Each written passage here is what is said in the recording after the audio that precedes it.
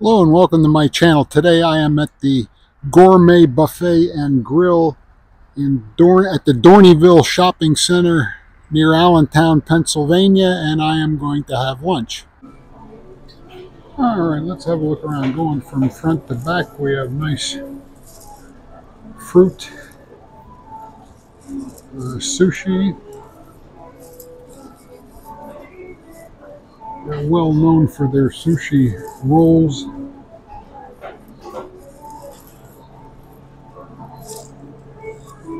It's like a Mongolian barbecue. Don't know if it's open for lunch or not, but they have a nice grill. And again, going from front to back, next we're at the desserts. We have ice cream, various uh, cookies and pastries.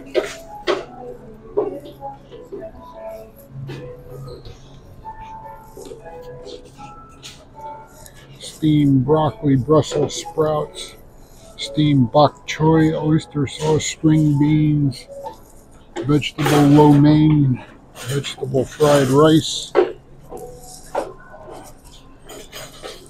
white rice, vegetable mei fun, chicken and broccoli, pepper steak, General Tso's chicken, mushrooms,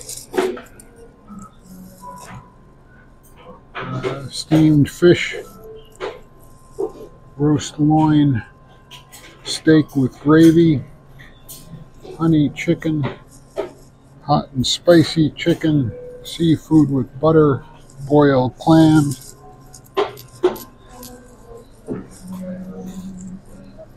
steamed mussels, teriyaki chicken, boneless spare ribs, crab meat with bacon, mixed meatballs. Coming over to the other side here, potatoes with parsley, sweet donuts. Um, looks like some sort of chicken wings, sweet plantains, pan fried dumplings, dim sum, sweet and sour chicken, egg rolls. Um, says chicken nuggets, but again, looks like some sort of wings, cheese wonton, french fries, ham, mashed potatoes with gravy, apple pie, cheese steak, macaroni and cheese, pizza, egg tarts, crab meat with cheese, stuffed mushrooms, stuffed shrimp, garlic bread, spinach bread, and we have a salad bar. Hi, how are you? Yeah, long time no see. Look good. Yeah?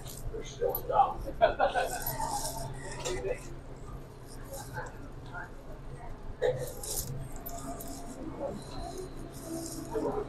and of course some soups.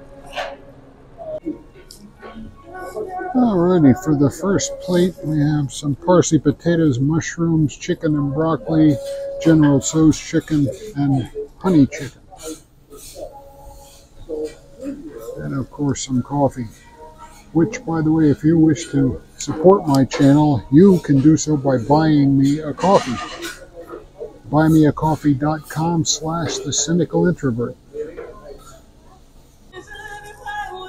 Okay, for round two, I have a piece of ham, some pepper steak, pan fried dumpling, uh, boneless spare rib, meatball, egg roll, and teriyaki chicken. Uh, as far as the first plate, everything was very tasty.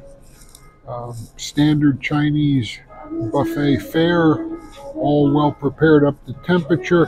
Uh, the General Tso's chicken was uh, not hot. It was, uh, I mean, uh, spicy wise, it was more sweet than hot. Some people like it that way. Some people like it really hot. So just be prepared if you come here. It's not terribly hot. All right, let's try round two now. Alrighty, in the last plate, uh, the meatball and the pan-fried dumpling both were kind of bland in flavor and very oily, greasy. And I'm a person who tends to like greasy food. But anyway, my next plate, sort of a pasta course, vegetable mei fun, uh, vegetable lo mein, some mac and cheese, and I threw in another egg roll.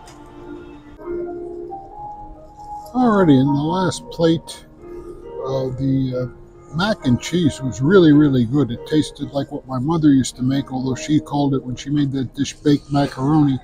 Uh, one thing I will note, what was labeled as vegetable mei fun when I tasted it was obviously a seafood dish, which was no big deal to me, but if you had an allergy or you were a vegan, it might be an issue.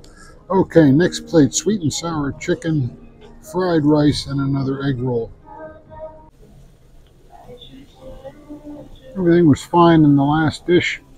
Uh, the uh, sweet and sour chicken especially was very often on buffets when you get sweet and sour chicken, the chicken itself is hard and dry. This was very tender and juicy. I was impressed. Uh, everything else on that plate was good as well. Uh, this probably be the last one before I hit dessert. I'm to have a little more ham, potatoes, mushrooms, General Tso's chicken, and mac and cheese. Alrighty, I'm going to get started with dessert here. We got some sort of a cream fruit salad. I'm not exactly sure what this is. We'll find out. A uh, pastry, which I'm going to assume is a mocha cream puff, Rice Krispie Square, some candied nuts, three types of pudding. That's chocolate. This I'm pretty sure is butterscotch, which is about my favorite. That is either vanilla or banana. We'll find out when I taste it. Okay, the mystery yellow pudding was vanilla. It tasted pretty good. Honestly, the chocolate and the butterscotch didn't taste all that good. Uh, the mocha pastry uh, cake square was rather dry. The little uh, plastic cup was a kind of a coffee mocha cream. That was good. Um, Rice Krispie square was also kind of dry, not enough marshmallow in it. All right, round two here some apple pie with vanilla ice cream. And I'm going to wrap it up with a, nice big cup of cookies and cream ice cream, my fortune cookie. Here, incidentally, is the bill.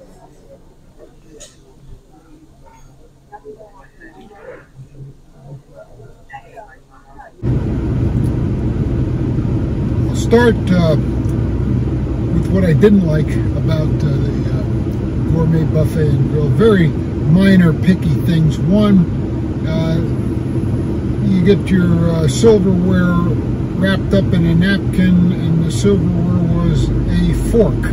Uh, a lot of places anymore, it seems most restaurants of this type buffets don't give you a knife. You have to go find one. Uh, this one didn't give a spoon either. I first noticed it when I went to stir my coffee. I had to stir it with a fork wasn't a big deal until I went to eat that pudding for dessert. And then I had to go find a spoon somewhere to have my dessert. Again, being picky, but uh, still. Um, the only other thing, I called attention to a couple of the uh, dishes that I didn't care for. Uh, the meatball, the fried dumpling, a couple of the desserts. Uh, the things I didn't like, I really didn't like. And the things I did like, I really liked. Um, when uh, in, in the Lehigh Valley, if you look on social media, there always are food sites. Oh, well, what's the best Chinese buffet in, in, in the Allentown area? Uh, and the two that uh, seem to always get the most nods are the uh, Hibachi Grill in Bethlehem and this one. And I had never been to this one. And I will say I enjoyed it. It uh, is very good. A couple of things to note. The uh, dining room is deceptively large. Uh, looking at the outside of the building, I thought it was a small place. Uh, the main dining room is, is huge, and there's what is labeled as a party room to the back, and I don't know how big that is because I didn't go in there. Um, I think the price is worth it. I think, uh, again, with, with just a few notable exceptions, the food was well prepared. Um, I think I might have a different, a be even better view. Uh, in other words, what I'm trying to say is a lot of the people who say, well, this is the place you got to come if you want a Chinese buffet in Allentown, are talking about the uh, sushi and the and the uh, Mongolian grill. Uh, I didn't have the grill, although I saw toward the end it was open because people were having stuff grilled, and I don't. I'm not a fan of sushi, so uh, maybe if I were a sushi lover, I would like this even more. I don't know, but uh, I think it was certainly worth the price. Um, it's a little out of the way for me, and very often, unless something is really, really good, if it's way out of the way, I won't make a special trip. I would consider making a special trip for this. This is pretty good, and I, I will agree with social media that if you're in the Allentown, Bethlehem, Easton area, uh, the, and you want a Chinese buffet, the two places you would want to want to try first are the Hibachi Grill on uh, just off of uh, 22 191 in Bethlehem, and this one in Dorneyville off of uh, Hamilton Boulevard, also known as Route 222 near Dorney Park. Uh, incidentally, one of the uh, if you if you watch all my videos, one of the uh, places I reviewed within the last several months, I believe it's called the New China Buffet on South 4th Street in Allentown. I, I understand they have closed down, which is unfortunate because they, they, were not bad. Anyway, that, that's my review of the Gourmet Buffet and Grill in Dorneyville, Allentown, Pennsylvania. Thanks as always for watching. Please uh, like my videos. Please subscribe to my channel if you have not already done so.